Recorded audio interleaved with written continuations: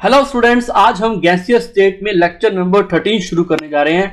आज का जो हमारा टॉपिक रहने वाला है, उस टॉपिक का नाम है deviation of real gas from ideal behaviour आज हम डेविएशन पढ़ने जा रहे हैं कि आइडियल बिहेवियर से कैसे रियल गैसेस जो होती हैं, वो कैसे डेविएट शो करती हैं, यानी आदर्श व्यवहार से वास्तविक गैसों का विचलन की बात करने जा रहे हैं कि जब कोई वास्तविक जो गैसें होती है, जो रियल गैसेस होती हैं वो कैसे आइडियल बिहेवियर को फॉलो नहीं करती और आइडियल बिहेवियर से डेविएशन शो करती है? लेकिन हमें ये पता नहीं कि आइडियल गैस कौन सी होती है और रियल गैस कौन सी होती है।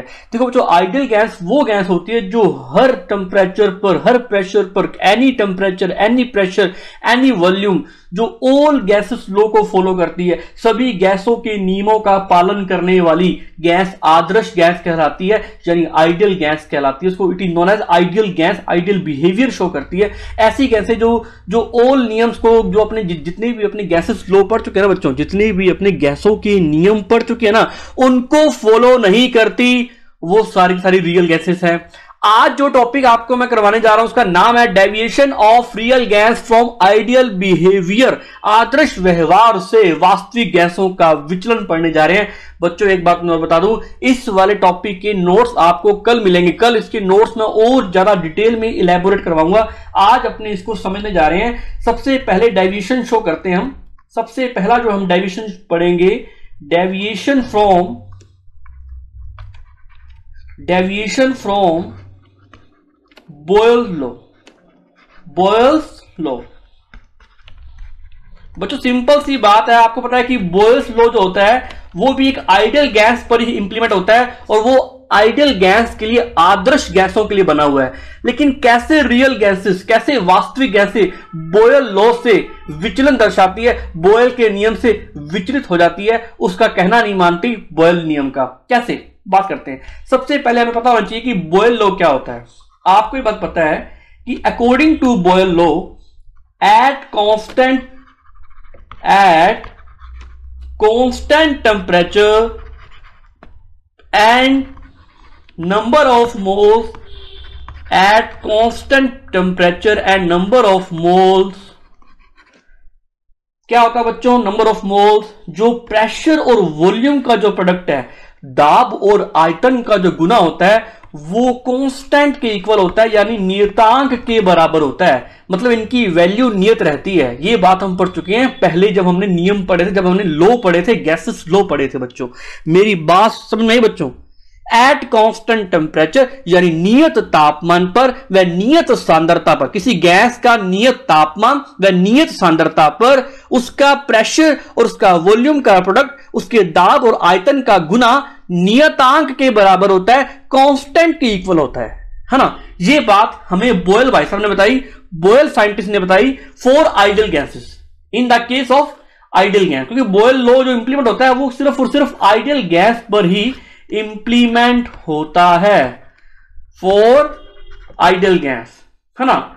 तो सिंपल सी बात है fix amount of gas at constant pressure volume and pressure का प्रोडक्ट जो होता है, वो कांस्टेंट की इक्वल होता है। मीन बोयल लॉ के अकॉर्डिंग अगर हम ग्राफ प्लॉट करें, अगर हम बोयल लॉ के अकॉर्डिंग पीवी जो वैल्यू जिसकी कांस्टेंट होती है पीवी वर्सेस प्रेशर यानी दाब गुना आयतन बनाम, दाब के मध्य ग्राफ बनाएँ PV versus P graph plot करें तो हमें ग्राफ कैसा मिलेगा? वो बात करने जा रहे हैं अपने, है ना? तो हमें डेविएशन पढ़ना है, विचलन की बात करनी है। सबसे पहले हम ग्राफ देखते हैं कि हमें ग्राफ क्या मिलता है। तो अगर मैं ग्राफ ड्रॉ करूँ बच्चों पीवी वर्सेस प्रेशर तो बच्चों आइडिया लगाओ ग्राफ कैसा मिल सकता है बच्चों? We know that we know that हम बोयल बोयल लॉ की स्टडी कर रहे हैं और बोयल लॉ सिर्फ़ और सिर्फ़ आइडियल गैस पर इंप्लीमेंट होता है, आदर्श गैसों पर ही लागू होता है। तो आदर्श गैसों के लिए जैसे जैसे हम प्रेशर को इंक्रीज करते हैं प्रेशर और वॉल्यूम का जो प्रोडक्ट होता है प्रेशर और आयतन का जो गुना होता है, उस पर कोई फ़र्क नहीं पड़ता।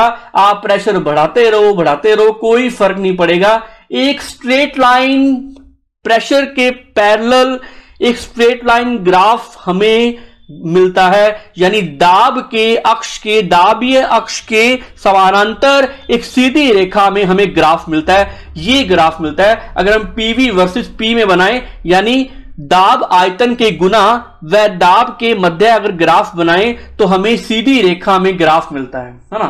तो ये ग्राफ, इट मीन, हमें ग्राफ कैसा मिला? It mean for only ideal gases for ideal gases and for Boyle law बात एक ही है ना, कि it mean straight line graph straight line graph straight line graph obtained obtained obtained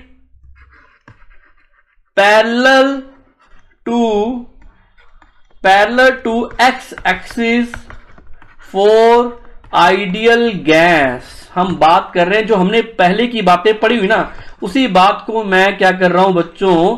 repeat कर रहा हूँ, उसी बात को रिपीट कर रहे हैं अपने फोर आइडियल गैस अगर मैं इसको हिंदी में डिफाइन करूँ तो मैं कैसे डिफाइन करूँगा कि सिंपल सी बात है कि हमें ग्राफ कैसा मिलता है बच्चों? हमें ग्राफ एकदम सीधी रेखा में मिलता है स्ट्रेट लाइन मिलता है। यानी इसका मतलब जब हम ग्राफ बनाते हैं तो एक्स अक्ष के समानांतर एक्स अक्ष के समानांतर हमें ग्राफ कैसा मिलता है? ग्राफ सीधी रेखा में प्राप्त होता है। सीधी रेखा में प्राप्त होता है। सिंपल सी बात। किसके लिए? आदर्श गैस के लिए। फोर आदर्श गैस के लिए अगर अपने ग्राफ बनाएँ तो कैसा मिलता है बच्चों? सीधी रेखा में ग्राफ मिलता है। यहाँ तक बात समझ नहीं बच्चों, जल्दी बोलो। बिल्कुल सिंपल सी बात की हमने, है ना? लेकिन एक साइंटिस्ट था, मैं बिल्कुल आराम से करवा रहा हूँ इस बात को। एक साइंटिस्ट था, जिसका नाम था अमे गेट। यानी अमे गेट एक साइंटिस्ट था, या एम गेट एक साइंटिस्ट था। उसने क्या किया? उसने ये बात तो समझ ली कि आइडियल गैस के लिए अगर पीवी वर्सेस पी के बिटवीन ग्राफ को प्लॉट करें तो हमें स्ट्रेट लाइन ग्राफ मिलता है। बात सही है। लेकिन अमेगेट ने क्या किया? अलग अलग गैसेस पे एक्सपेरिमेंट किए। उसने ना कुछ गैसेस ली। कौन कौन सी गैसेस ली? उसने ना हाइड्रोजन गैस ली। उसने हीलियम गैस ली। उसने नियोन गैस ली। उसने नाइट्रोजन गैस भी ली और उसने सी एच फोर यानी मैथेन गैस भी ली और कार्बन डाइऑक्साइड और कार्बन मोनोऑक्साइड ये सारी अलग अलग गैसों के दो सेट लिए उन्होंने पहले हाइड्रोजन हीलियम और नियोन का एक सेट अलग तैयार कर लिया और nitrogen C H four CO two CO इन सारी गैसेस को उनपे एक्सपेरिमेंट किया तो उनके पास दो सेट मिलते हैं। एक तो हाइड्रोजन हीलियम नियोन का, एक नाइट्रोजन मैथेन और कार्बन डाइऑक्साइड और कार्बन मोनोऑक्साइड का एक सेट मिलता है। फिर इन्होंने धीरे धीरे इसको स्टडी करना शुरू किया तो क्या पाया कि इनका ग्राफ उन्होंने उन्होंने ग्राफ प्लॉट करने की कोशिश की कि PV versus PV versus P में अगर ग्राफ प्लॉट करें for hydrogen for helium for neon for nitrogen for methane for carbon dioxide तो हमें ग्राफ कैसा मिलता है? उसने ये कोशिश की तो उसने एक चीज़ पाई, उसने एक्सपेरिमेंट चेक किया तो एक्सपेरिमेंटली क्या मिला? एक्सपेरिमेंटली क्या मिला? उसने ये बात देखी, जैसे उसने ये ग्राफ प्लॉट किया बच्चों तो ग्राफ कैसा मिला उसको? ये देखो। वी नो दैट कि हम pressure volume product and pressure के मध्य जब ग्राफ बनाते हैं वर्सेस ग्राफ ड्रॉ करते हैं तो फोर आइडल गैस तो हमें ग्राफ कैसा मिलता है? स्ट्रेट लाइन मिलता है। लेकिन जब उसने ग्राफ प्लॉट किया, किसके लिए? सबसे पहले फ़र्स्ट नंबर सेट के लिए किसके लिए?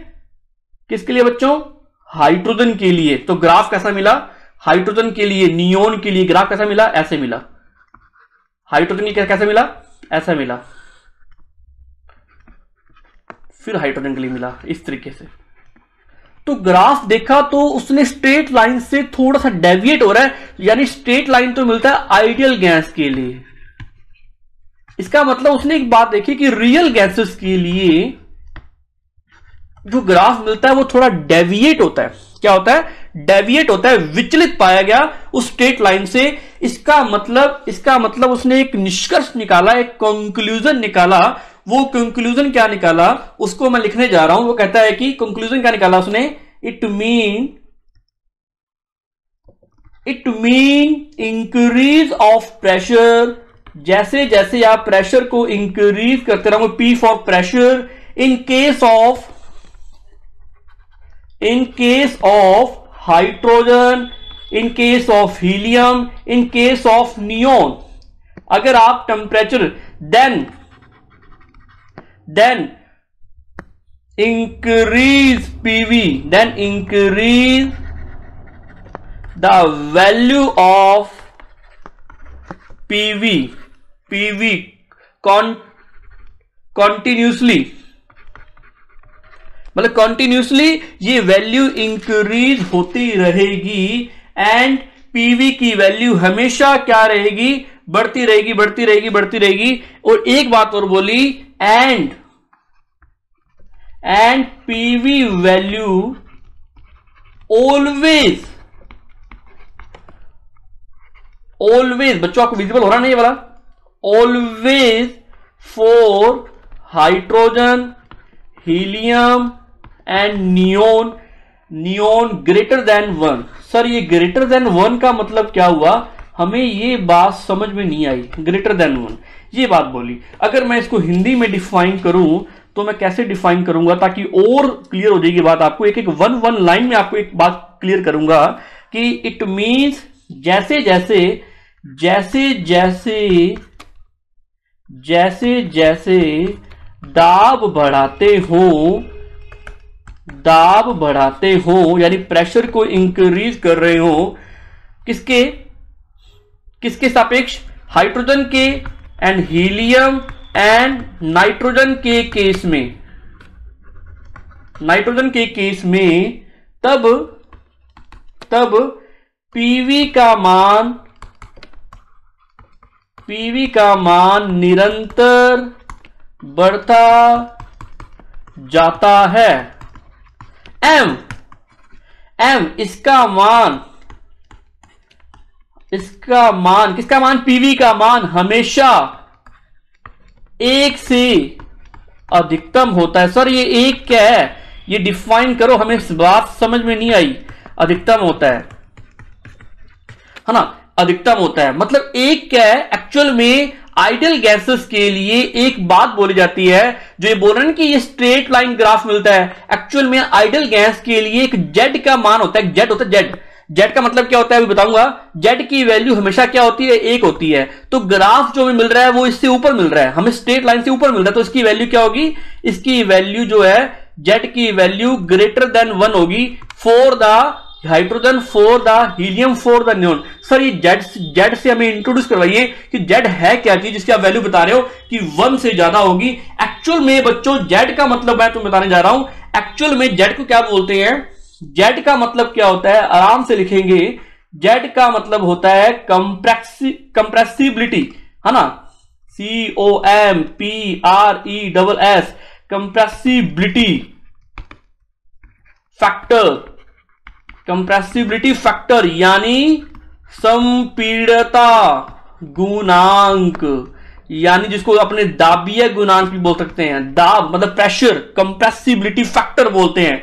और कंप्रेसिबिलिटी कंप्रेसिबिलिटी जो फैक्टर होता है ना बच्चों, इसको अपने जेड से डिनोट करते हैं।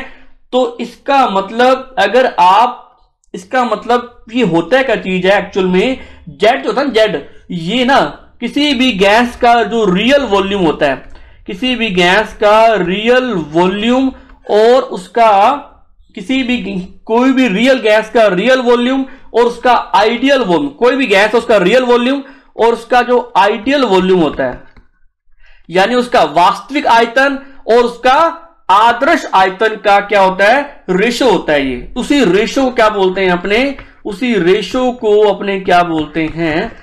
उसी रेशो क्या बोलते हैं? It is known as compressibility factor, यानी संपीड़ता गुणांक के नाम से जाना जाता है। मतलब किसी भी गैस का, उस, किसी भी गैस का वास्तविक आयतन व उसका आदर्श आयतन। इसका जो भी अनुपात होता है, उसको क्या बोलते हैं अपने? सीएफ बोलते हैं, यानी कंप्रेसिबिलिटी फैक्टर बोलते हैं। और हमें पता है कि कंप्रेसिबिलिटी जो फैक्टर होता है, वो हमेशा आइडियल गैस के लिए उसकी वैल्यू वन आती है और इसका कंपैरिजन करके कंप्रेसिबिलिटी फैक्टर एक से तुलना करके हम बाकी गैसेस का कंप्रेसिबिलिटी फैक्टर की स्टडी करते हैं। संपीड़ता गुणांक की, की क्या करते हैं? हम स्टडी करते हैं। ये देखा गया ये पाया गया फॉर आइडियल गैस जैसे हमने ग्राफ ड्रॉ किया पीवी वर्सेस पी यानी पीवी और पी के मध्य जैसे ग्राफ बनाया तो एक स्ट्रेट लाइन मिली हमें सीधी रेखा मिली तब यह पाया गया कि उसका कंप्रेसिबिलिटी फैक्टर जो है वन है। यानी उसका जो रेशियो है आइडियल आइडियल वॉल्यूम का और उसका रियल वॉल्यूम का वो एक पाया गया। मतलब सेम है उसका। मतलब उसका आइडियल वॉल्यूम और रियल वॉल्यूम सेम है। दोनों की वैल्यू सेम है। इसका मतलब उसका आदर्श आयतन और उसका वास्तविक आयतन दोनों समान पाए जाते हैं। फॉर आइडियल गैस मेरी बात समझ में आई? ये होता है संपीड़िता गुणांक। अब आगे और डिफाइन करता हूँ संपीड़िता गुणांक को। अगर हम इसको डिफाइन करें, इसका फॉर्मुला लिखें तो Z is equal to V real V real volume of real gas यानी volume of real real volume of gas and ideal volume of gas ये होता है संपीड़ित गुणांक तो ग्राफ में जो हम डेविएशन आया, उसको हम जेड से डिफाइन करते हैं। जो भी विचरण आया, उसको हम जेड से कंपैरिजन करके, तुलना करके हम बात करते हैं। जेड की जेड की वैल्यू अगर वन है तो वो आइडियल गैस के लिए होती है। आइडियल गैस के लिए। अगर जेड की वैल्यू अगर ऊपर नीचे हो रही है ना तो इसका मतलब वो रियल गैस के लिए वैल्यू आ रही है ना? वो वैल्यू किसके लिए आ रही है? रियल गैस के लिए वैल्यू आ रही है। बच्चों को मैं जेड की बात करूँ तो आपको बताया कि वॉल्यूम रियल वॉल्यूम और उसका आइडियल वॉल्यूम का क्या होता है बच्चों? रेशो होता है। इस पूरी इक्वेशन को अगर मैं, इस पूरी इक्वेशन को ऊपर नीचे से P से P P अपॉन P से मल्टीप्लाई कर दूँ तो क्या आता है? Z is equal to PV real and upon में पीवी आइडियल है ना? पीवी आइडियल हमें पता है कि पीवी आइडियल गैस के लिए वैल्यू क्या होती है? PV that is equal to NRT NRT के बराबर होता है। अगर मैं इसको ओ डिफाइन करूँ तो जेड बराबर क्या आ जाएगा बच्चों? P real P real upon में क्या आ जाएगा? एनआरटी एनआरटी मतलब एन की वैल्यू फिक्स है आर की वैल्यू फिक्स है टी की value for ideal gas fix है तो इसका मतलब एनआरटी दो इक्वल आ गया किसके? एनआरटी तो आइडियल गैस है ही। इसका मतलब फोर आइडियल गैस के लिए जो उसकी जो real pressure of real sorry volume of यहाँ वॉल्यूम आएगा बच्चों। रियल वॉल्यूम किसके लिए? किसके लिए? आइडियल गैस के लिए। वो इक्वल होता है किसके लिए? उसके आइडियल वॉल्यूम से। फोर आइडियल गैस उसका रियल वॉल्यूम आइडियल वॉल्यूम के इक्वल होता है। फोर आइडियल गैस आदर्श गैसों के लिए उसका वास्तविक आयतन, उसके आदर्श आयतन से बराबर होता है, लगभग समान होता है। तो इसका मतलब हम इसको ऐसे भी लिख सकते हैं। वी उसका आइडियल वॉल्यूम अपॉन मतलब इसके हम ऐसे भी ऐसे भी लिख सकते हैं। PV ideal upon PV ideal अगर इसको कट अपने कट करेंगे। तो आंसर क्या आ जाएगा बच्चों? वन आ जाएगा। तो एक बात हमारे सामने निकल के आ गई कि आइडियल गैस की वॉल्यूम की वैल्यू रियल गैस के वॉल्यूम के केस में इक्वल होती है। इसका मतलब इसका कंप्रेसिबिलिटी फैक्टर वन होता है, यानी इसका संपीड़ता गुणांक इसका वन होता है। अब हम देखते हैं हाइड्रोजन के केस में हीलियम के केस में नाइट्रोजन के केस में, इनका जैक फैक्टर हमेशा एक से ज़्यादा आता है। हमेशा जेड फैक्टर जो होता है, वो एक से ज़्यादा आता है। ऑलवेज जेड फैक्टर फोर तो क्या लिखेंगे बच्चों? ऑलवेज हमेशा Z factor for hydrogen and helium and and neon greater than one हमेशा क्या होगा बच्चों? ग्रेटर देन वन मतलब हिंदी में लिखे तो क्या लिखेंगे? हाइड्रोजन, हीलियम, नियोन गैसेस के लिए जेड गुणांक का मान हमेशा एक से अधिकतम आएगा अधिकतम आएगा अधिकतम आएगा, इसलिए सो सो कंप्रेसिबिलिटी जो इनकी कंप्रेसिबिलिटी होगी, इसी कारण इनकी कंप्रेसिबिलिटी कंप्रेसिबिलिटी जो होती है, वो काफ़ी लोअर होती है बच्चों। मेरी बात समझ में आई? कि इनका कंप्रेसिबिलिटी जो होती है, वो बहुत ही कम होती है। In the case of hydrogen in the case of helium in the case of neon in the case of है ना? क्या होती है? काफ़ी लो होती है। इसका मतलब जब आप प्रेशर बढ़ाते हो तो नो डाउट इसका पीवी की वैल्यू बढ़ती है, लेकिन इसके कंप्रेसिबिलिटी फैक्टर की वैल्यू इसकी कंप्रेसिबिलिटी फैक्टर की वैल्यू जो होती है, वो हमेशा क्या होती है? इसकी मतलब सॉरी कंप्रेसिबिलिटी की वैल्यू वो हमेशा कम आती है, यानी संपीड़ता का मान हमेशा धीरे धीरे कम होता है। है ना? इसीलिए इसका जेड फैक्टर जो है एक से ज़्यादा था, लेकिन इन गैसों की कंप्रेसिबिलिटी कम होती है। इसका जेड फैक्टर तो जो है वो ज़्यादा है, लेकिन कंप्रेसिबिलिटी इसकी कम होती है। बच्चे कहेंगे, सर कंप्रेसिबिलिटी का मतलब क्या है? हमें ये बात समझ में नहीं आ रही कि सर जेड फैक्टर तो आप इंक्रीज कर रहे हो, लेकिन इसकी कंप्रेसिबिलिटी कम कैसे होगी बच्चों? देखो जेड फैक्टर मैं इंक्रीज कर रहा हूँ। जेड का मतलब क्या होता है? रियल वॉल्यूम अपोन में अपोन में आइडियल वॉल्यूम। अगर मैं उसके आइडियल वॉल्यूम को कम कर रहा हूँ, मैं आइडियल वॉल्यूम को कम कर रहा हूँ और मैं किसी को बड़े में से छोटे से का भाग देता हूँ तो आंसर क्या आता है उसका? बड़ा आता है है ना?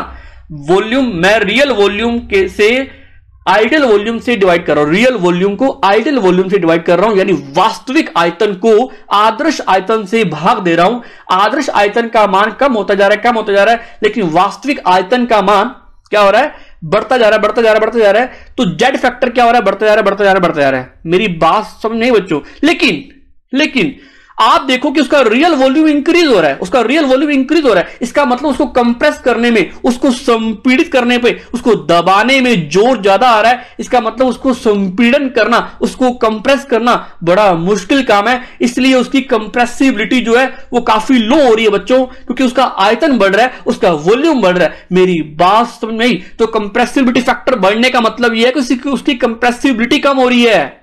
जल्दी बोलो, शाबाश। आज आपको समझा रहा हूँ नोट्स आपको कल मिलेंगे? जल्दी बोलो। यहाँ तक बात समझ में आई बच्चों?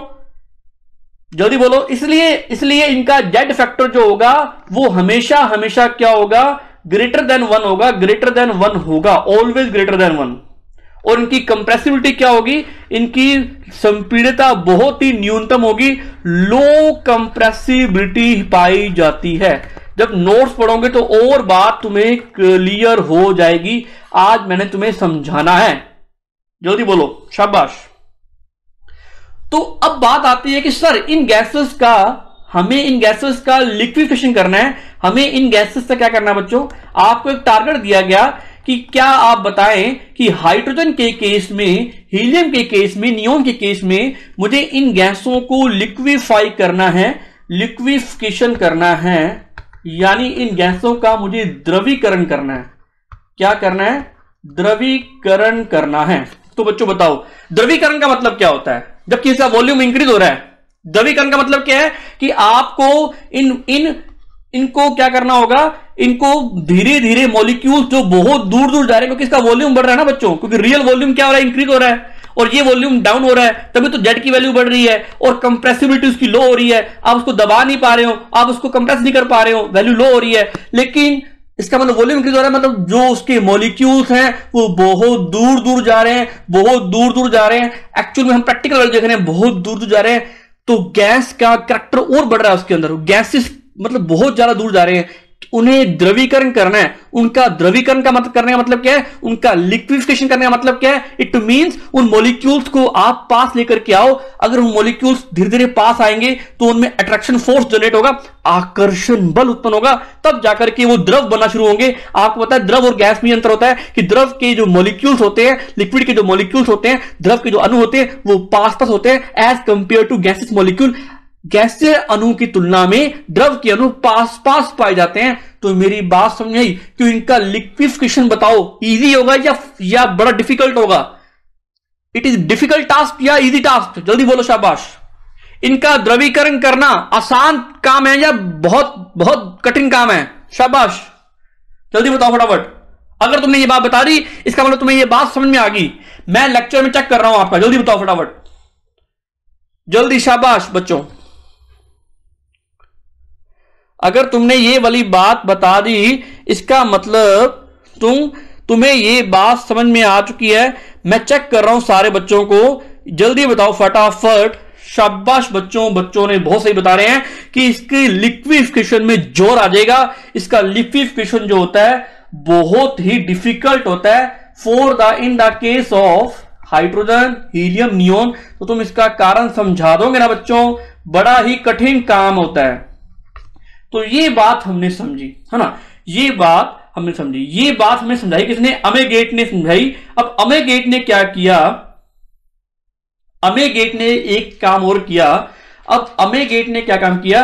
कि अगर वो कहता है कि अगर आपको इनकी द्रवीकरण करवाना है ना, अगर आपको इनका लिक्विड लिक्विफिकेशन करवाना है ना तो आपको उसका टेम्परेचर लो करना पड़ेगा, तब जाकर के उसका तापमान निमन करना पड़ेगा तब जाकर के उसका द्रवीकरण होगा।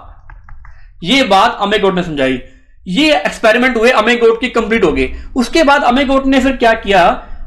नाइट्रोजन पे एक्सपेरिमेंट किया। फिर उसने सी एच फोर पे एक्सपेरिमेंट किया। फिर उसने सीओ टू पे एक्सपेरिमेंट किया। फिर उसने कार्बन मोनोऑक्साइड पे एक्सपेरिमेंट किया और एक दूसरा सेट तैयार किया। उसने स्टडी की इन गैसेस की। इस गैसेस के केस में क्या देखा? वो, वो इस गैसेस के केस में क्या देखता है? वो ग्राफ फिर प्लॉट करता है बच्चों। ग्राफ पीवी वर्सेस पी की क्या होगा? प्लॉट होगा। वही ग्राफ से फिर बनेगा बच्चों। और फिर उसने क्या देखा? वो तुम्हें बताने जा रहा हूँ बच्चों। ग्राफ वही मिलेगा क्या मिलेगा? स्ट्रेट लाइन मिलेगा। क्या मिलेगा? स्ट्रेट लाइन लेकिन उसने नाइट्रोजन केस में देखा सी के केस में देखा सी के केस में देखा। वो कहता है कि जैसे जैसे आप प्रेशर को इनिशियली फर्स्टली प्रथमतया पहली बार जैसे आप प्रेशर को इंक्रीज करोगे तो क्या होगा? थोड़ी सी पीवी की वैल्यू डाउन आनी शुरू हो जाएगी। पीवी की value for hydrogen for nitrogen for for C H four तीन गैसों को मैं एग्जांपल ले रहा हूँ। धीरे धीरे धीरे धीरे इसकी वैल्यू इंक्रीज आना शुरू हो जाएगी। लेकिन आपने ना अब हम बड़े ढीट हैं, हमने प्रेशर को बढ़ाना नहीं छोड़ा, हम प्रेशर को बढ़ाते जा रहे हैं बढ़ाते जा रहे हैं बढ़ाते जा रहे हैं। इनिशियली क्या हुआ? पीवी की वैल्यू डाउनफॉल आई पीवी का मान कम हुआ, लेकिन जैसे जैसे हम दाब बढ़ाते गए बढ़ाते गए बढ़ाते गए तो एक समय ऐसा आया कि उसने स्टेट लाइन को क्रॉस कर दिया और ये ग्राफ हमें पीवी का मान धीरे धीरे बढ़ने लग गया और ग्राफ हमें ऊपर की तरफ़ मिलने लग गए। हालाँकि इसमें गैप मैंने ज़्यादा डाल दिया, इसमें इतना गैप आता नहीं है। तो ग्राफ धीरे धीरे हमें ऊपर की तरफ़ मिलने लगे। इस तरीके से हमें ग्राफ मिलने शुरू हुए। तो इसका मतलब तुम्हें बात सुन गई कि इनिशियली प्रेशर को इंक्रीज करने पर पीवी की वैल्यू डिक्रीज होती है। प्रथमतः दाब के मान बढ़ाने पर पीवी के मान में कमी आती है। फिर भी आपने प्रेशर को कंटिन्यूसली बढ़ाना जारी रखा। इंक्रीज कंटिन्यूसली करते रहे करते रहे करते रहे आफ्टर सम टाइम क्या हुआ कि पीवी की वैल्यू इंक्रीज होने लग गई और इट मीन इट मीन अब ग्राफ जो है नीचे से ऊपर की तरफ़ जाने लग गया तो इस तरीके से हमें ग्राफ मिलता है।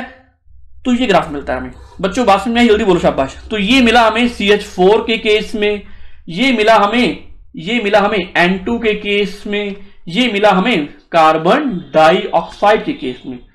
इसी तरीके से कार्बन मोनोक्साइड के केस में मिल जाएगा अपने को। तो तो क्या हुआ? When increase when firstly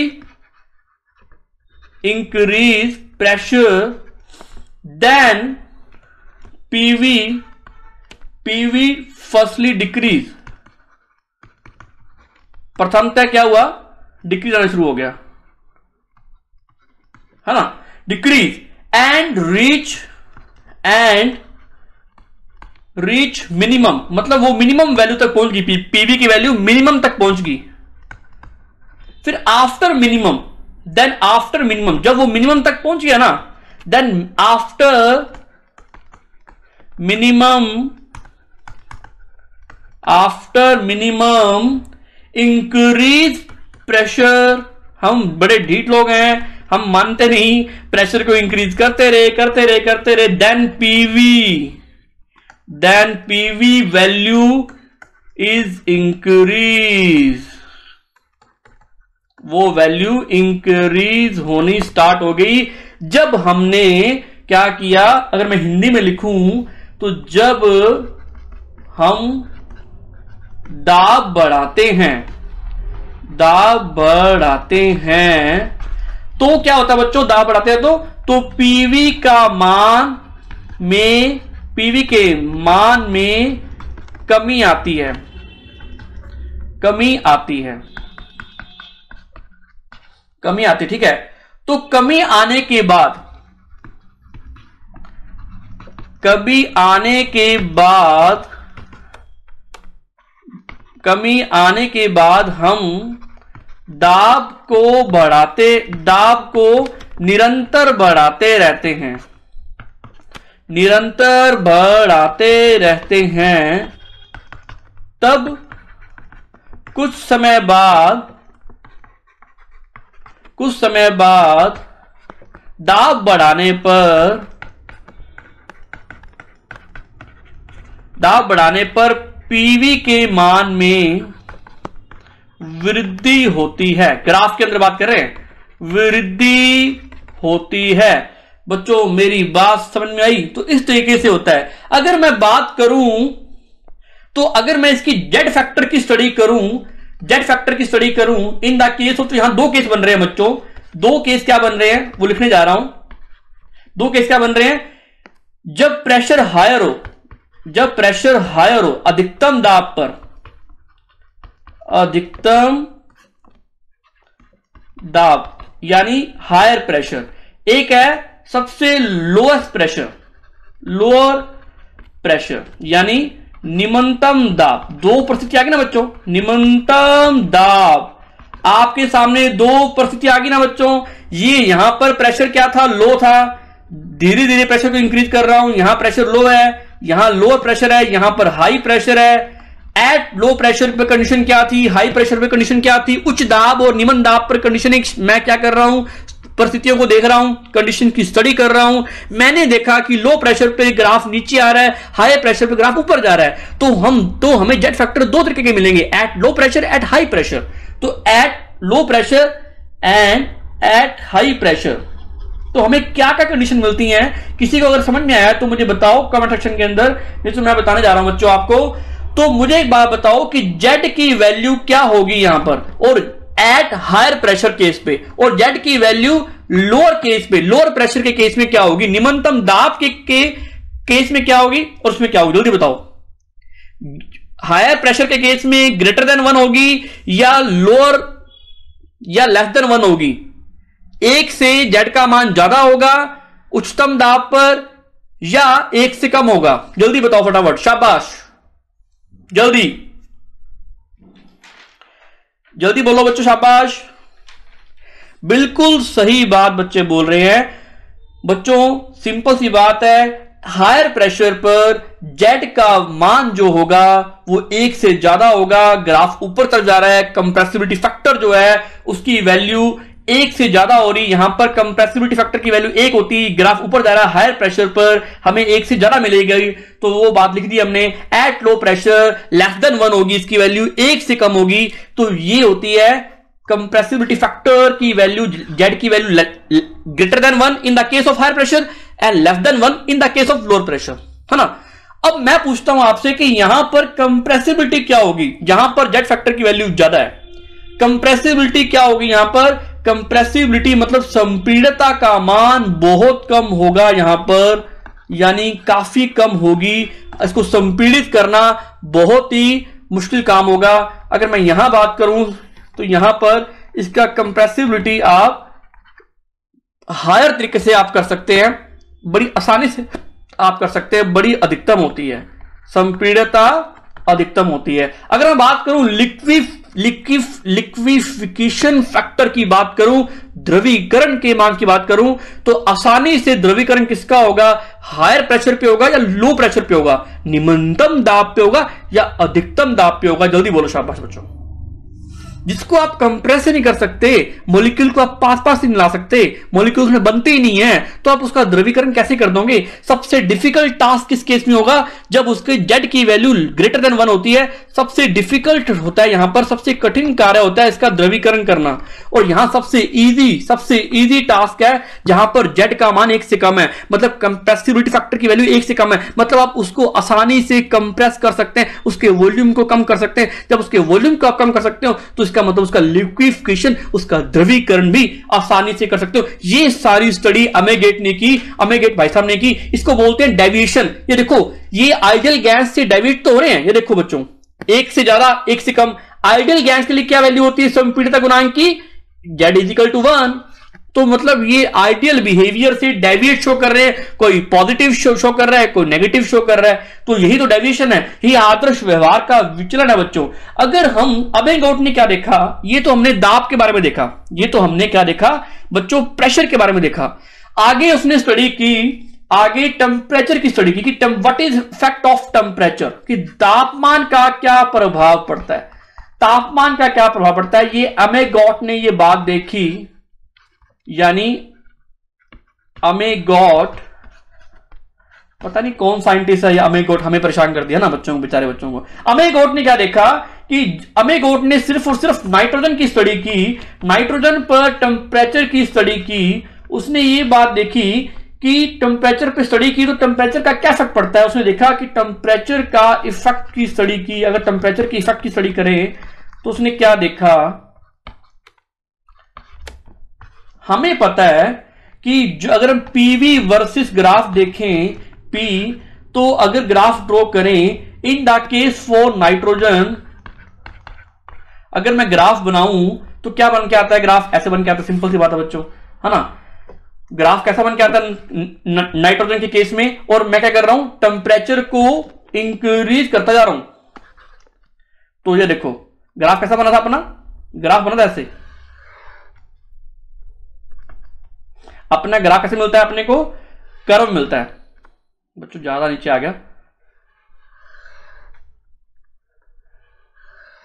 है ना? ग्राफ कैसा मिलता है, अपने को कर्व मिलता है। ये ऐसे ऐसे क्यों क्यों जा रहा हूँ, मैं बताऊँगा ऐसे कारण क्या है।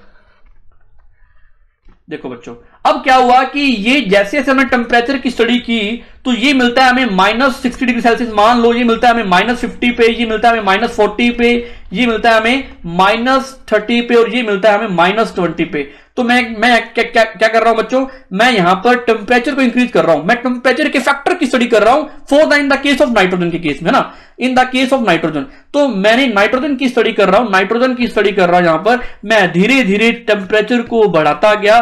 तो आप एक बात नोट कर रहे हैं कि ये जो ग्राफ है ना, ये जो ग्राफ है, इसका जो कर्व है कर्व यानी इसका वक्र वो क्या हो रहा है, खत्म हो रहा है। इसका जो डिप पार्ट है डिप जिसको बोलते हैं डिप यानी इसकी गहराई खत्म हो रही है। वो ग्राफ हमें लास्टली क्या मिलता है? हमें स्ट्रेट लाइन ग्राफ मिल जाता है स्ट्रेट लाइन यानी सीधी रेखा में ग्राफ मिलता है। अगर आप टेम्परेचर को बढ़ाते जाते हो, इसका मतलब ये है कि इसका कंप्रेसिबिलिटी फैक्टर जो है ना, वो जेड के बराबर वन आ जाएगा। मतलब इस केस में ये आइडियल की तरह बिहेव करना स्टार्ट कर देगा। इसका मतलब टेम्परेचर बढ़ाते जाओ बढ़ाते जाओ। इसका मतलब आइडियल बिहेवियर की तरफ़ बढ़ते जाओ। जैसे आप टेम्परेचर बढ़ाओगे तो वो आइडियल बिहेवियर की तरफ़ बढ़ना स्टार्ट कर देता है बच्चों। आइडियल बिहेवियर की तरह, यानी आदर्श व्यवहार की तरफ़ वो बढ़ना शुरू हो जाता है। टेम्परेचर और इंक्रीज कर दो तो इसका मतलब वो आइडियल बिहेव की तरह बढ़ना शुरू कर देगा। टेम्परेचर बढ़ाते जा रहे हो, बढ़ाते जा रहे हो तो एक ऐसा कंडीशन आएगा, एक ऐसा पॉइंट आएगा, एक ऐसा पॉइंट ऑफ़ टेम्परेचर ऐसा पॉइंट ऑफ़ टेम्परेचर जहाँ पर ये आइडियल ये नाइट्रोजन गैस आइडियल बिहेव करना स्टार्ट कर देती है आइडियल बिहेव करना स्टार्ट कर देती है। ऐसा तापमान का वह बिंदु जिस पर वो आदर्श व्यवहार व्यवहार करना शुरू कर देती है, उसका कंप्रेसिबिलिटी फैक्टर की वैल्यू वन हो जाती है। उसका रेशो जो है, उसके रियल वॉल्यूम का रेशो उसका रियल वॉल्यूम और उसका आइडियल वॉल्यूम इक्वल हो जाता है, रेशो वन हो जाता है उसका, यानी उसका कंप्रेसिबिलिटी फैक्टर उसका वन हो जाता है। संपीड़ता गुणांक उसका एक हो जाता है। मतलब तापमान बढ़ाने पर देखो, इसका जो कर्व वो टूट रहा है। मतलब इसका प्रेशर जो है वो जो इसका जो है ना इसका जो रेशियो है, वो वॉल्यूम का बराबर हो रहा है। इसका मतलब वो पॉइंट ऑफ़ टेम्परेचर जहाँ पर नाइट्रोजन गैस आइडियल बिहेव करना शुरू कर देती है मतलब बोयल लो को ओबे करना शुरू कर देती है, यानी बोयल के नियम की अनुपालना करना शुरू कर देती है। और ऐसे तापमान के बिंदु को क्या कहते हैं? ऐसे तापमान के बिंदु को बोयल बोयल्स टेम्परेचर कहते हैं बच्चों। इसको बोयल टेम्परेचर के नाम से जाना गया। और इसको बॉयल टेम्परेचर आता है एग्ज़ाम के अंदर क्वेश्चन की what is Boyle temperature define it परिभाषित कीजिए। तुम तुम तुम क्या बोलोगे? वो point of temperature any gas behave like a ideal behaviour the point of temperature and obeys Boyle law it is known as Boyle it is known as Boyle temperature ऐसा gas जो, ऐसी गैस जो तापमान के साथ साथ आदर्श व्यवहार, तापमान बढ़ाने के साथ साथ it respect to temperature increase बढ़ाने के साथ साथ क्या होता है बच्चों? तापमान बढ़ाने के साथ साथ वह आदर्श व्यवहार की तरफ़ बढ़ने लगती है और तापमान का वह बिंदु जिस पर वह आदर्श गैस की तरह व्यवहार करना शुरू कर देती है यानी उसकी कंप्रेसिबिलिटी फैक्टर की वैल्यू वन हो, जाती है इसका मतलब वह बॉयल टेम्परेचर कहलाता है बॉयल तापमान कहलाता है और तुम उसमें एक ग्राफ ये वाला अपलोड कर देना तुम्हारा डेढ़ नंबर का क्वेश्चन पूरा हो गया तुम्हारा डेढ़ नंबर का प्रश्न का आंसर मिल गया उत्तर मिल गया बच्चों मेरी बात समझाई कि टेम्परेचर का क्या इफ़ेक्ट पड़ता है और it is denoted by TB इसको अपने टीबी से डिनोट करते हैं। बॉयल टेम्परेचर को टीबी से डिनोट किया जाता है। तो आई होप आपको बॉयल टेम्परेचर की डेफिनेशन समझ में आ गई होगी। आप मुझे ये लिख करके अभी अभी ग्रुप में या अपने व्हाट्सएप चैट के अंदर सेंड करोगे कि व्हाट इज़ बॉयल टेम्परेचर मैंने बहुत बड़ी तरीके से डिफाइन कर दिया। तो टेम्परेचर का फैक्टर समझ में आया बच्चों? टेम्परेचर बढ़ाने पर वो आइडियल गैस की तरह आइडियल बिहेवियर की तरह। बिहेव करना शुरू कर देती है, आदर्श कैसे उतर शुरू कर देती है। ये हमने बात की, आज हमने थोड़ा बहुत समझा, ये बातें सारी हमें किसने समझाई? अमे गोट ने समझाई अमे गोट ने समझाई। मतलब टेम्परेचर आप जैसे जैसे बढ़ाते जाओगे, वैसे वैसे उसका कर्व यानी उसकी डिपनेस उसका कर्व धीरे धीरे कम होना शुरू हो जाएगा, यानी उसका कर्व बच्चे कहेंगे, सर, ये कर्व क्या होता है? ये देखो डिपनेस मतलब ये ये डिपनेस खत्म हो रही है उसकी उसकी डेप्थ खत्म हो रही है गहराई खत्म हो रही है और एक सीधी रेखा मिल जाती है बाद में। ये मतलब है इसका। तो बच्चों आई होप आज का लेक्चर आपको समझ में आया होगा। इस सारे लेक्चर के with notes Hindi medium English medium कल आपको इलेबोरेट करने वाला हूँ। सारे बच्चे मुझे मिलेंगे कल क्लास के अंदर। तो आपको एक एक लाइन क्लियर करूँगा और नोट्स आज आपने नहीं बनाने, आपने सिर्फ़ और सिर्फ़ समझना है। कल नोट्स बनाना बैठ करके। ओके बच्चों, कोई दिक्कत? जल्दी बोलो, शाबाश। तो चलो बच्चों, ये क्लास अटेंड करो। आई होप आपको सारी बातें समझ में आ गई होंगी। मिलते हैं कल अपने फिर। दोबारा। और जल्दी तुम्हें बता दूँगा बच्चों। बाय बच्चों। Thank you